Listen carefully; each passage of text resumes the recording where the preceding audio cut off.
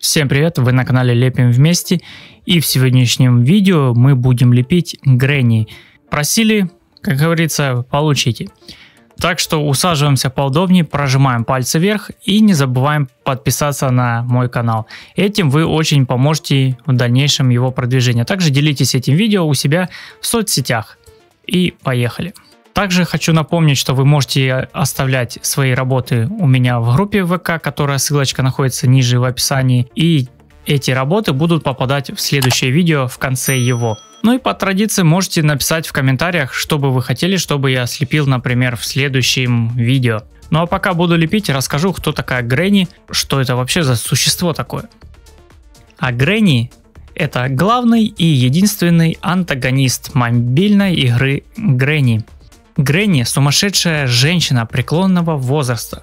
У нее темная кожа, белые глаза без зрачков, седые волосы по бокам и пожелтевшие, грязные от крови зубы. Она носит старое, в некоторых местах порванное платье. И всегда носит с собой кровавую биту. Возможно, является родственницей Слендерины, персонажа из другой серии игр от того же разработчика – что объясняет ее привязанность к плюшевому мишке Тедди. Гренни держит игрока у себя дома, и у него есть 5 дней, чтобы выбраться. Если он уронит что-нибудь на пол, то Гренни прибежит на звук. Игрок может спрятаться под кровать или шкаф, главное, чтобы она не увидела этого. Если она увидит игрока, то побежит за ним, если она догонит его, то оглушит кровавой битой, положит его в кровать и начнется следующий день. Она может расставлять медвежьи капканы, чтобы поймать игрока и мусорить на лестнице, чтобы он не прошел дальше. Если игрок не сможет сбежать за 5 дней, то Гренни либо кинет его в подвал и съест заживо, либо отрубит ему голову с помощью гильотины – она может заходить практически во все места в доме, кроме тех, для проходов которые нужно согнуться. Также она не заглядывает в шкафы или под кровать, только если не увидит, как игрок прячется там. Она также не может зайти в тайную комнату, соединяющую подвал и спальню, только если игрок не будет шуметь. Если выстрелить в бабулю дротиками с помощью арбалета, то она отключится от 15 до 120 секунд, зависит от уровня сложности игры. Если игрок возьмет плюшевого мишку по имени Тедди, то глаза бабули станут красными и она будет постоянно гнаться за игроком. Если положить мишку, то она вновь станет нормальной.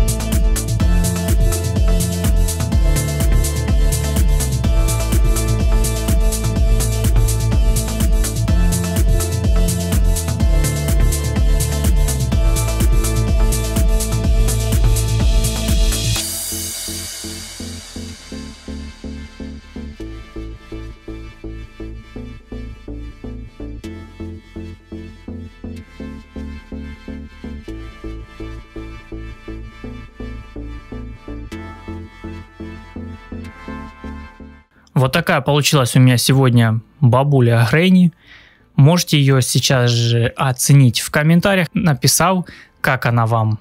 Спасибо, что досмотрели это видео до конца. Можете оценить его, поставив палец вверх и обязательно подписавшись на мой канал. Также вступайте в группу ВК и выкладывайте свои работы там. Ну и в конце видео я буду их здесь показывать. Всем удачи, с вами был Андрей, канал Лепим Вместе. Хороших вам лепок и пока.